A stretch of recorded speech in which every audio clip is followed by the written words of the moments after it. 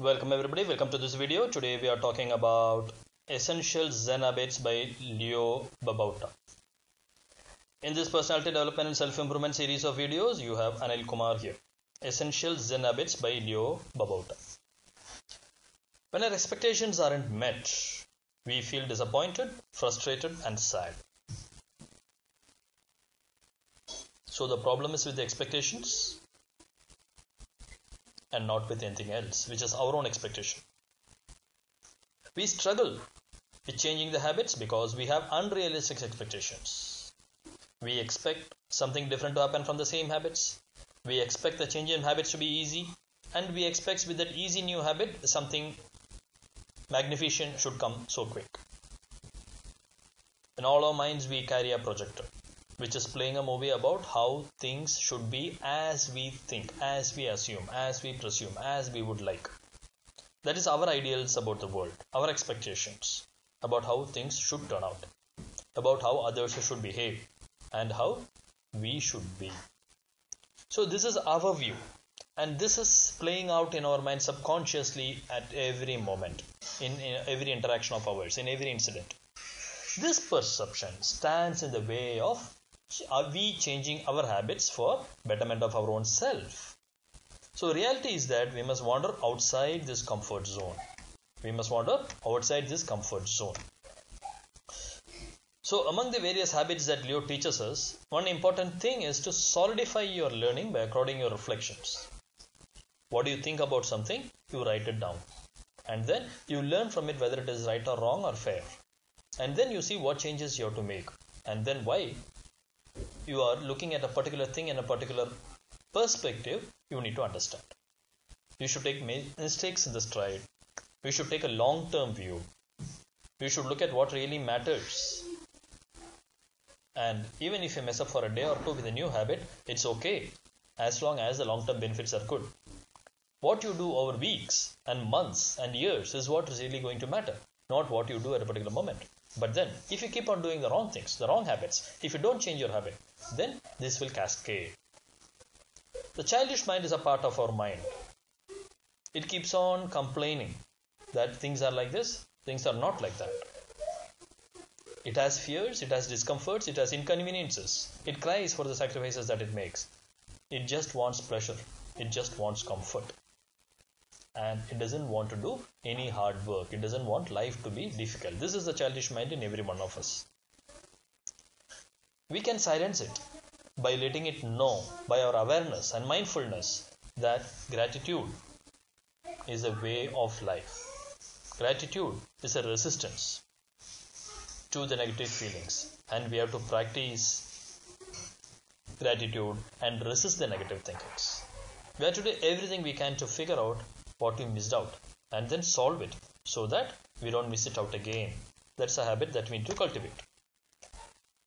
A key habit skill is learning to flow around the disruptions and just keep going. One of the key things that you need to learn is to keep going, just to flow around, not get struck in spite of, in, in view of, in the presence of disruptions habit formation or learning a habit or unlearning an old habit or learning a new habit everything is a lifelong learning process.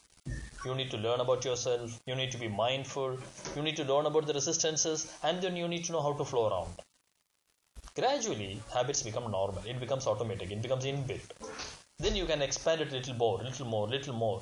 You can push the comfort zone levels and the territories where you are comfortable little by little every moment what does the resistance feel like? Why it is resisting? Is there a way to accept it as it is instead of resisting? Can you accept the discomfort and relax? Can we find gratitude that this disruption, this resistance gave us a new learning?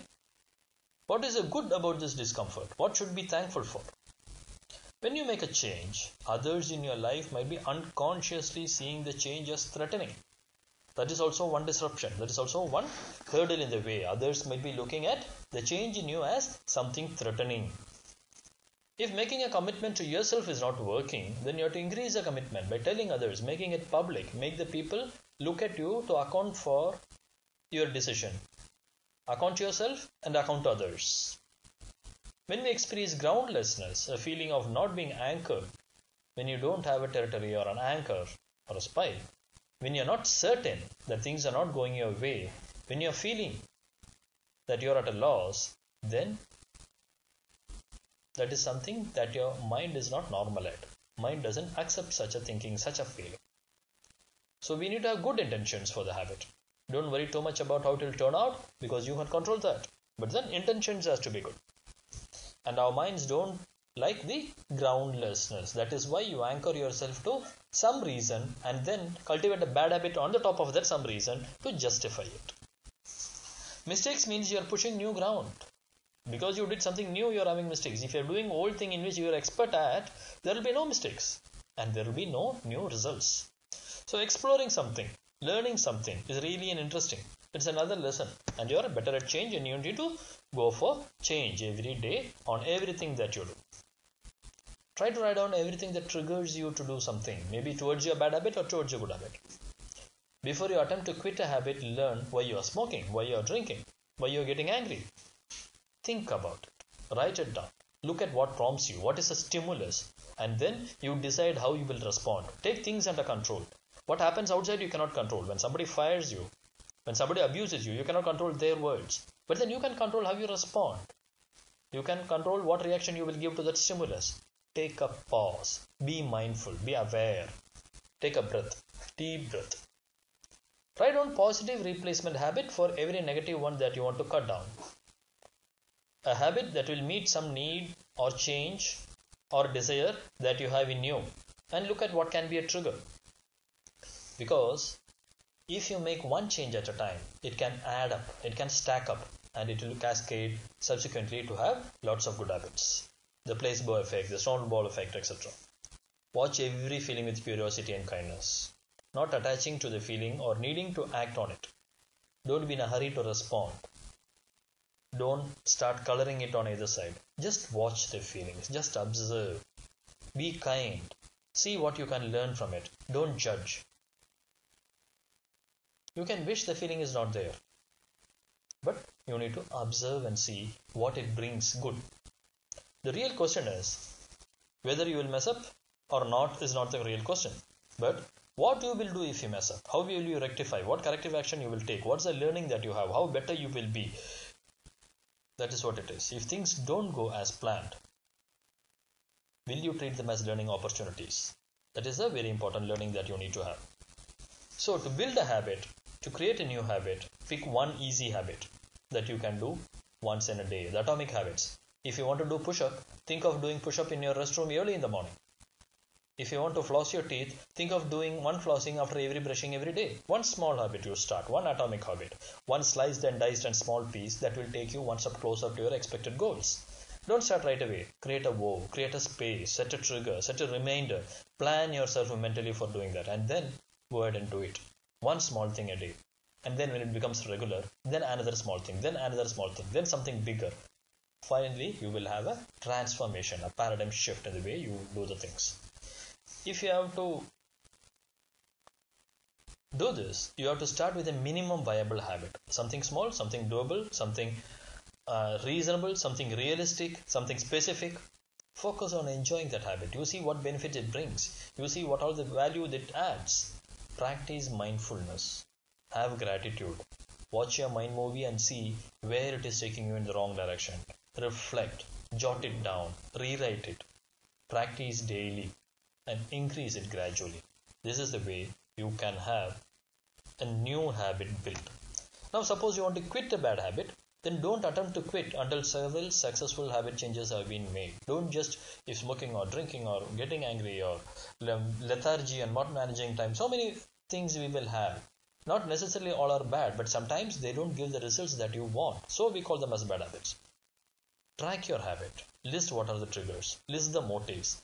List what you're enjoying in that. Find out what you will enjoy differently if something different happens. Come up with replacement habits. That is important. You cannot just make a void over there. You have to replace it with something else. Use techniques that you have learned. Gradual change versus cold turkey. Just shooting it down. Learn to recognize urges as they arise. What is urging you to do it? What's the motive? What's the desire? What's the dream? What is the expectation? What's the post habit appreciation or comfort or feeling of happiness that you have. Form the right mindset. Be mindful and understand why you need to change and how you need to change. And then when you fail, get back on the track and then don't let it derail you. Suppose you decide to go to gym. Suppose you decide not to have junk food. Suppose one day you fail to go to gym. Or suppose one day you are forced to have a burger or a cola. Nothing wrong. But then get back to track. Don't let it derail you. This is the way you can quit a bad habit or change into something different. You are listening to Essential Zen Habits by Leo and this part of the personality development and self-improvement series by Anil Kumar. Thank you for watching this video.